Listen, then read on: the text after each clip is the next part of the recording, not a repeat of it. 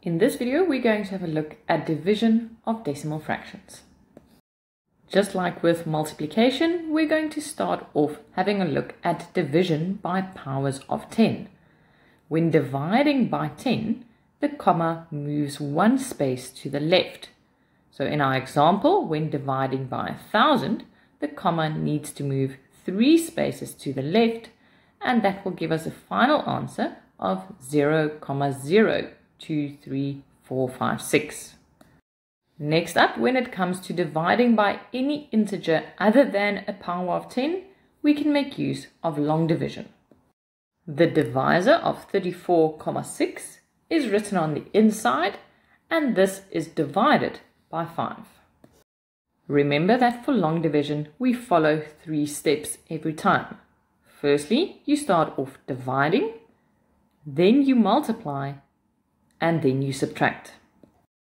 I already know that 3 can't be divided by 5, so I'm going to start off dividing 34 by 5.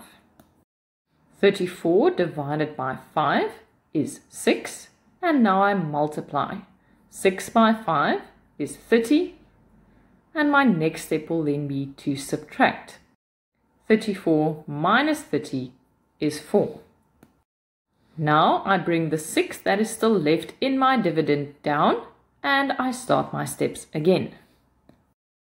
But before I do that, it is very important to always add the comma in the same place as it was in the original dividend. So 46 divided by 5 is 9. Now I can say that 9 times 5 is 45 and that will give me a remainder of 1. Remember that you can add any number of zeros at the end of a decimal number without changing the value. Therefore, I can now bring this 0 down and next I can divide 10 by 5 to get 2. 2 times 5 is 10 and 10 minus 10 gives me a remainder of 0. Once you get a remainder of 0, you know that you are done dividing so our final answer is 6,92. You can also choose to do the long division a bit more effectively. For this, I'm going to start off dividing my 34 by 5 and that will give me 6 with a remainder of 4 which I add at the top.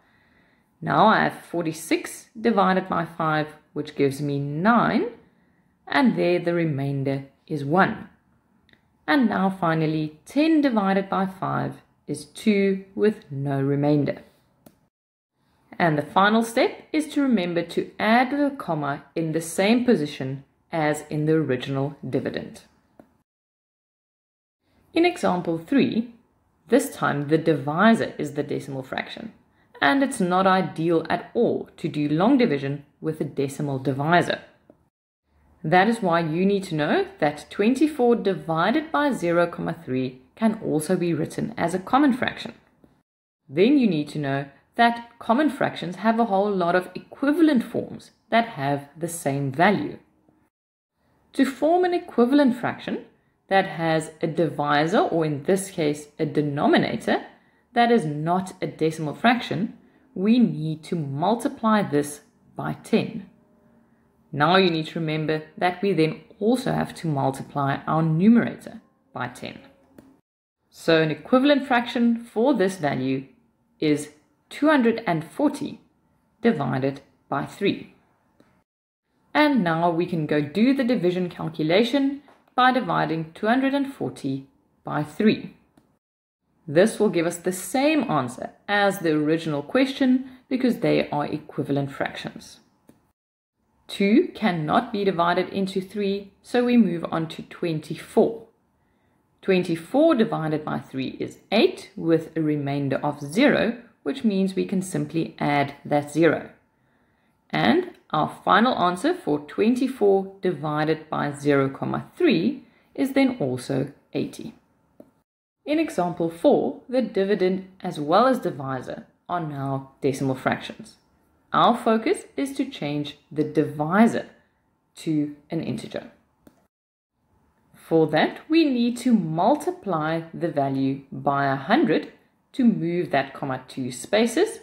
And then, of course, we also need to move the comma in our dividend two places.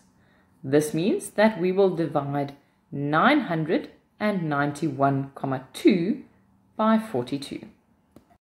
And again, we're going to use long division. 9 cannot divide into 42, but 99 can be divided by 42 and it goes into it twice. 2 times 42 gives us 84 and if I now subtract 99 minus 84 I'm left with 15. Next I bring down the 1 and now I have to divide 151 by 42 and three 42s can fit into 151. This gives me 126 and once I've subtracted again I'm left with 25. Now I bring down my last two. Here it is important to remember that we are now at the comma so we have to add our comma in the answer. 252 divided by 42 is exactly 6 and once I've subtracted that 252 I have a remainder of 0. And this means that 9,912 divided by 0,42 will also be 23,6.